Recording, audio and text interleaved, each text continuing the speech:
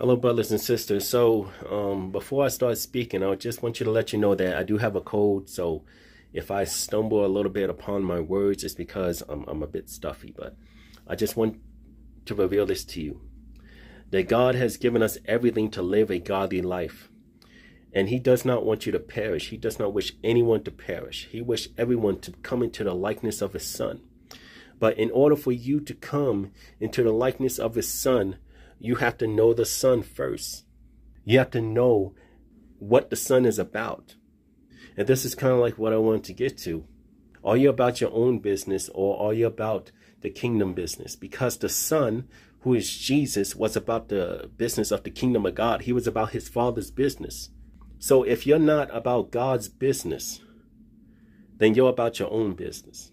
Now, some people say, well, I work in the church and I do this. I'm on the worship team and, you know, I clean the church and I do this for the pastor. Saying, well, you have to truly understand, did God himself, in your relationship with God, did God himself tell you to do that? Or did the pastor tell you to do that? Some people see their pastor as God without actually calling their pastor God. And you want to know how? And I said this on a Facebook post. People see people come into the church and they act all kind, they act all nice and gentle and stuff like that. And then they go out of the church and they act wicked. They use a bunch of foul language. They encourage or endorse weed. They even get mad when people say, well, Jesus can bring you the healing. You don't need that weed to get your healing. People get upset. And so they live like the world. They walk like the world. They talk like the world when they go out into the world. But when they come to church, then they try to be godly, a form of godliness, but deny the power thereof. You know, you can truly tell if someone is accepting the power of God to change their lives or if they're rejecting the power of God because there's no change. You can truly tell. Now, some people are going to say, well, you're judging people. The power of God created all of the universe. But for some reason, you believe that the power of God can't change your thinking, can't change your heart. You believe that the power of God can make black holes and make the whole solar system and everything within it. Everything so powerful, volcanoes, earthquakes, uh, just everything, everything. But yet you believe that God can't change the thinking of a man. Hmm. This proves that your imagination is actually taking over.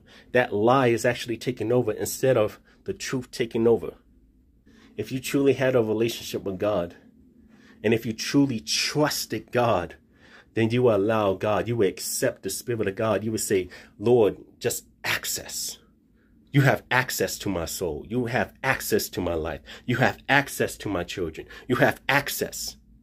Instead of going to church and then being there for 90 minutes, acting kind and nice for 90 minutes, and then you go home and you act what, however you want to act.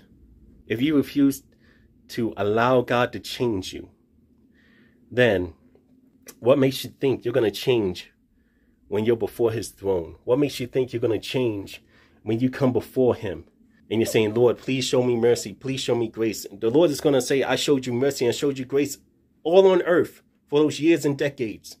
But yet you didn't change that grace and that mercy was given to you. That compassion was given to you so that you can change. I sent my Holy Spirit to you. I sent people to you that were filled with the Holy Spirit, that were filled with a prophet, with a prophet's words, the words of my words from the throne. They were my messages. They went straight to you. But yet you didn't believe them because you don't believe the Spirit of God. If you can't believe the prophets that speak over you, that speak about the power that God can do in you, then, then there's not going to be any change. You're not going to accept the Spirit of God. Now, some people, I'm going to say this, some people say they have faith in Jesus, but you don't see their faith. You don't see it. Now, some people say, well, why are you exposing people? Why are you making people look bad? I'm making their behavior look bad. I'm making their ways look bad because they need to turn from their ways. They need to turn from themselves. They need to deny themselves. Stop playing these games. You can't, whoo, my goodness, you can't say that you're greater than Jesus. You can't say in your own mind and in your own heart, uh, I don't need Jesus all the time. I'm, I'm righteous before the pastor because I asked the pastor questions. Oh, I'm righteous before. The congregation of the church because the congregation of the church think I'm nice and think I'm, I'm, I'm joyful and think that nothing, nothing's wrong with me. Let me tell you something. If you feel that there's nothing wrong with you, then you're calling God a liar. We all, we all fall short of the righteousness of God. We all fall short of perfection in the kingdom of God. But the Holy Spirit wants to live in you. He wants to set you upon perfection. The Holy Spirit wants to live in you. And the only way that you can reach the kingdom of God is by allowing God to do his work in you. In you. you. There's nothing that you can do for God by yourself. You need to allow the Holy Spirit in you so that he can work in you and then so that you can work for God. It's like a recycling thing. God sends his spirit in you, then the Holy Spirit starts working on you about what you should do and how you should do it and when you should do it. That's how it is. It's not you working for the church all alone and saying, I'm doing a good work for God. There's nothing that you can do as far as a good work for God. You need the Holy Spirit. You know, worshiping and praising in church, that's not always receiving the Holy Spirit. How about you receive the Holy Spirit in your home? How about you receive the Holy Spirit when you go to work? How about you receive the Holy Spirit when you wake up in the morning? How about you receive the Holy Spirit when you're watching TV so you know what to watch and what not to watch? Because the Holy Spirit's directing you. How about that? Instead of just, well, you know, the pastor sees I'm a good person and the church sees I'm a good person, so therefore I must be living in the Holy Spirit.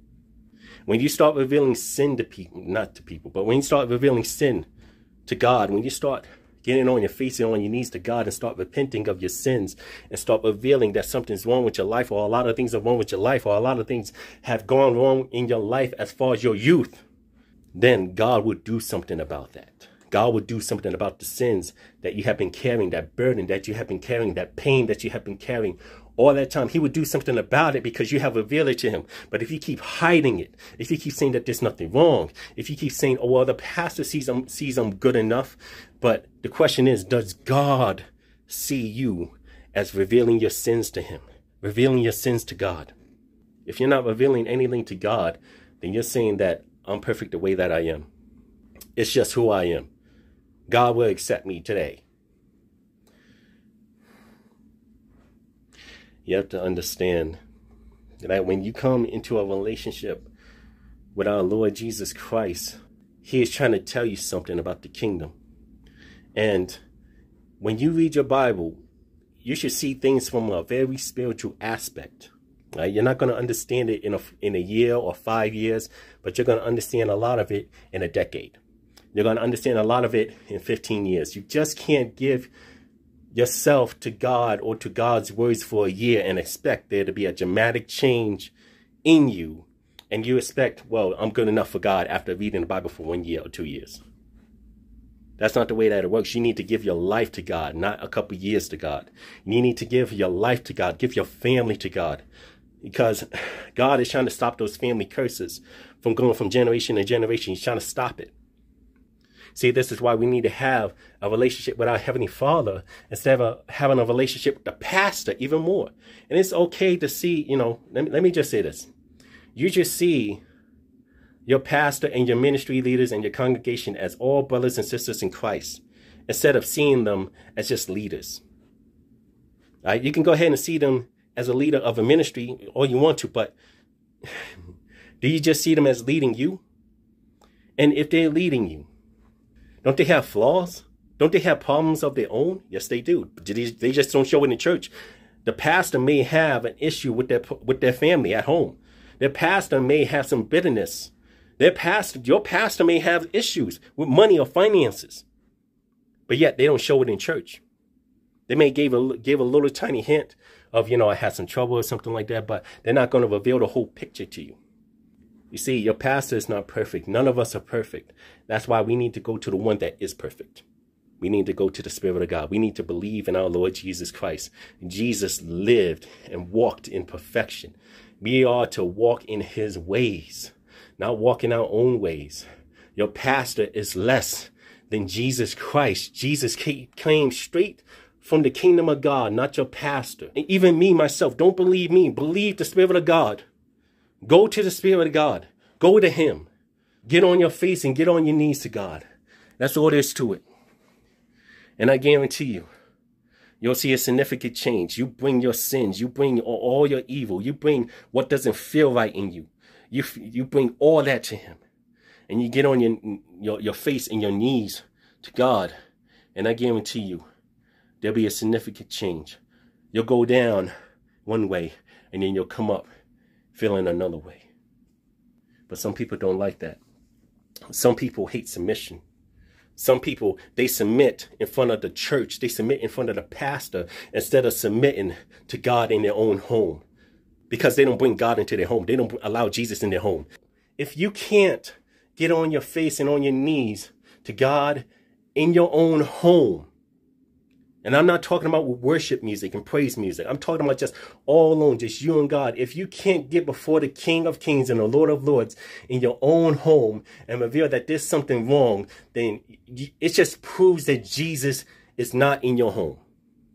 Jesus, oh, the words of Jesus may be in a Bible on your bookshelf, but it's the Spirit of God in your home. It's the Spirit of God within you. That's the question. We need to stop playing these games. The time, time is almost up. Time is almost up. And we think that we got decades. I tell you what, man. I think we only got a few years. You can prove me wrong all you want to, but let's just say we got 20 years left. How do you know you're not going to die tomorrow? How do you know you're not going to die in the next two years? What if you only got two years left? Isn't it time to get right with God? How do you know that you're not going to receive a tumor and and and God's God's gonna say, okay, time is up. And you're praying and you're praying and you're praying, and God's like, wait a minute. Now you're praying now. Now you're praying to me to to heal you of your tumor. Now you're praying to me to heal you of your stroke. Now you're praying to me to heal you of your of your heart issues and, and, and your heart attack. Now you now you're praying to me now. What happened to those last two decades? That I tried my best to reveal myself to you, that I tried to reveal my son to you. What happened to that? Now all of a sudden you're praying to me and asking me to heal you? So what? So that you can live more in sin?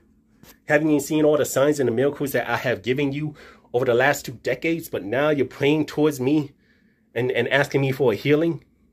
But yet you didn't want to transform, even though you saw the signs, the miracles, you saw the wonders, you saw the power of God within you and before you and in other people that you know. But yet you don't want to change into my son? We gotta get back into reality. The internet is everywhere. And we believe anything that is on the internet is true. But I tell you what, you want to see the power of God? Go ahead and look outside. Look at the sky. Look at the sun. Look at the moon. Look at all of the solar system outside. Look at the, the way the trees grow. Look at leaves breathe in the air. All that belongs to God. And without that, we would die. Without the solar system rotating the way that it is, it would be total destruction.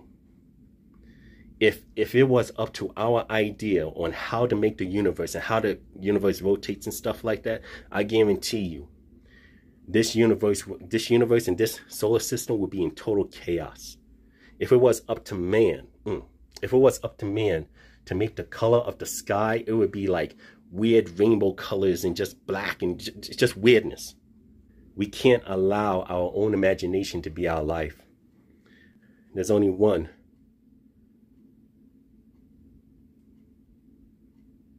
Who wants to be part of your life? There's only one who wants you to come back to him.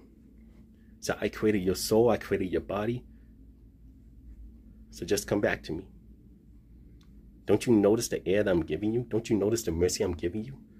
How much mercy do I have to give you? How much grace do I have to give you to get you to notice me? Get you to acknowledge my power, my glory. What do I have to do? Do I have to send my only one and only son? Oh, already did. Do I have to send my prophets? I already sent the prophets. Do I have to send more prophets to you that are here right here right now? I'm sending them to you, but you don't want to listen to them. How many people have to come before your face and say, listen, God has a plan for you. He has a purpose for you. You don't have to go around in this cycle of, of death, this cycle of death, and you're just saying that this is my life. You don't have to go into the cycle that you got from your youth saying, oh yeah, this uh, degrading oneself or my parents degrading me is part of my life and saying I'm a I'm a lost cause and I should commit suicide and so on and so forth. I'm a drunk. I'm a drug addict. I'm always angry. I'm always rageful. You don't have to live that cycle anymore. God has given you a body and a soul. Now it's time for you to receive your actual life, what life actually feels like from the Spirit of God, from the one who gave you life. I think that's all I gotta say, guys. It's time. It's time to give up on yourself and let God take over. It's time. It's time to give up on your ways, on your ideas, and it's time for God to take over. You've relied on his air, you've relied on his his his sun, the sun, the moon. You rely on all things, but can you rely on his spirit? His very spirit. The very spirit that created all things that you live off of right now. Do you want to rely on it? And not just rely on getting a job and rely on getting a, a car or a truck, but rely on being a peacemaker.